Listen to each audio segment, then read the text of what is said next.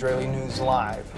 Always tension there in Jerusalem, especially East Jerusalem and even around the Old City. There's been many attempts that have been on the Israeli lives there.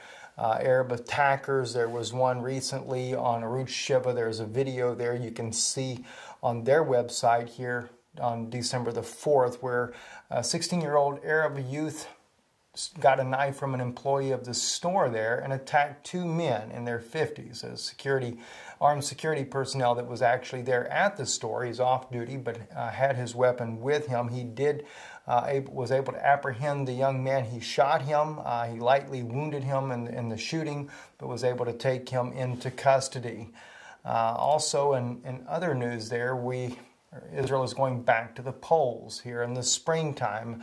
Prime Minister Netanyahu, seeing the government is falling apart and no one can agree upon what to do, has called for early elections. Of course, Ms. Livni has really been uh, hammering hard against the prime minister and said that he was fearful and, and one comment that she made there and, and, went on to blast him even further, saying that the people are the ones that put him into the seat as prime minister, and they have the power also to remove him. And as I saw these particular comments from Miss Livni, who is the um, um, a minister there in Israel, it really concerned me. Of course, she is for the two-state solution. She is the one that was uh, in the process of brokering the peace agreement uh, that was appointed there uh, by Netanyahu to be part of that team to broker the peace agreement there of a, two, two-state solution during uh, John Kerry's nine-month negotiation process, which did seemingly did not bring about anything other than a lot of violence in Israel. Uh, also, Obama met with King uh, Abdullah II in Washington, D.C., and of course, their major topic was the uh, unrest between the Israelis and the Palestinian Arabs in Jerusalem. Uh, so, a lot of interesting things that are going on inside Israel, or around Israel. Um, just really, really disheartening. There was also a, an attack of a, young woman who was uh, uh, waiting to try to ca uh, catch Israelis coming in and out of a, a, little border point there, was armed with a knife, but she was apprehended as well.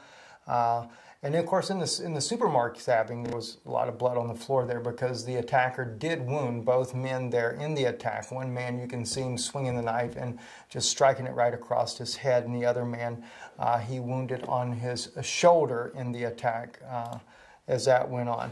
But anyhow, there, there is a lot of, uh, a lot of talk going on uh, also in uh, Miss Livni in a report that has been brought out uh, also on December 5th uh, regarding her is that her and um, um, uh, Herzog are very close to agreeing on a joint list. Uh, they will be running in this election coming up. That was Channel 10 News reported that on Friday evening. Uh, and it says here, as a part of the agreement being formulated, the second spot on the Labor Party Knesset list will be reserved for Livni. Another place in the top 10 on the list will be reserved for former Minister Amir Peretz. Another possibility is that Kadima chairman Shaul Mofaz will join the agreement as well, in which case he too may be guaranteed a spot in the Labor Party's top 10 list as well. Uh, it's very uncertain as of right now what will actually take place in Israel during the elections that are coming up. One thing's for sure, though, we do know that the land will be divided. Uh, it is a biblical prophecy that lays within the Tanakh, the, the Jewish Bible, that says that they will. And of course, God speaks about his anger that will be as a result for the dividing of his land.